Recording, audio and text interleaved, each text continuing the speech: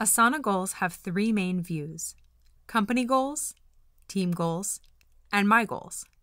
From the company goals page, everyone in the organization can see the company's mission as well as the strategic goals that are set by the leadership team. They can also see an overview of the status and progress of each company goal, as well as the sub goals attached to them.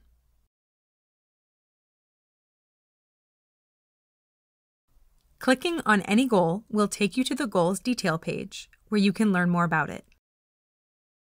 At any time, you can click above the goal name to return to the parent goal or main goals page.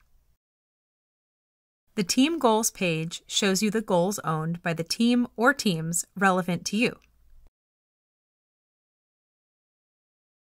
For each goal, you can see the time period, progress, status, and owner.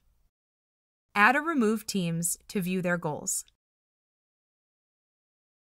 Collapse or expand each team's section to adjust your view.